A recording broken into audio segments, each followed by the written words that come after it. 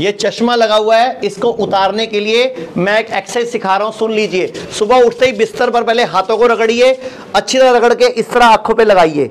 फिर अपनी लार, अपना ही स्लाइवा इसको लेकर आँखों में काजल की तरह लगा लीजिए और ये तीन उंगलियाँ इस तरह रख के सात बार घुमाना है सीधा और सात बार घुमाना है उल्टा। उसके बाद 25-30 बार इस तरह करना है। और 25-30 बार इस तरह करना है।